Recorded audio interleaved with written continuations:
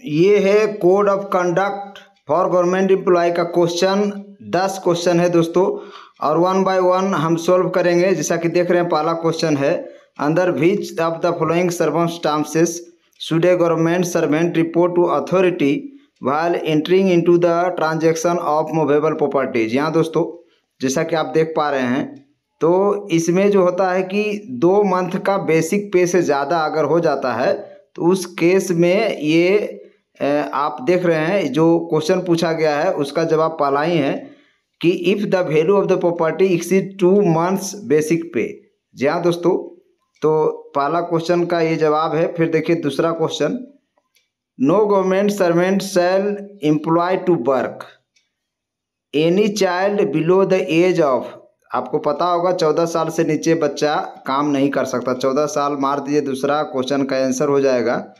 इसके बाद तीसरा क्वेश्चन पूछ रहा state what a government servant should do if he had received oral instruction direction from his official superiors तो oral instruction नहीं रिटेन कन्फर्मेशन होना चाहिए।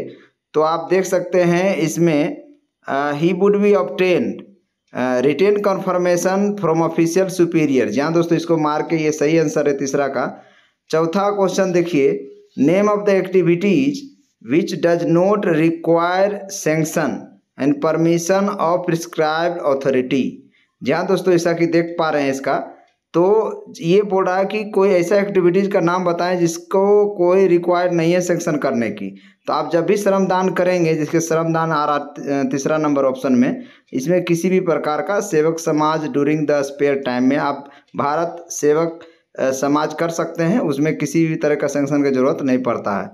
इसके अलावा देखिए, पांचवा क्वेश्चन पूछ रहा है what should be avoided by the government servant government servant किस चीज़ को एवॉइड करता है? तो देख रहे हैं कि कोई भी इंडिविजुअल आदमी को आप ला कर बुला के उसके साथ आप ऑफिशियली डीलिंग नहीं कर सकते इसको एवॉइड करना पड़ेगा। चौथा ऑप्शन इसका सही है।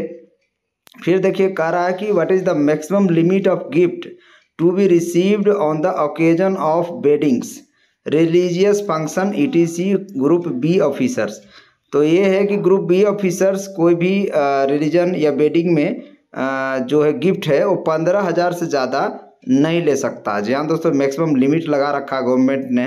तो ये इसका पहला आंसर सही है। सातवां क्वेश्चन देखिए whatever permission is necessary from government for getting temporary loans of the small amounts free of interest from the personal friends relatives by government servant जी हाँ दोस्तों, यहाँ पर जो होता है नो सेंक्शन की ज़रूरत पड़ता है परमिशन इन नेसेसरी ज़रूरी है परमिशन तो इसका ये आंसर सही होगा तीसरा।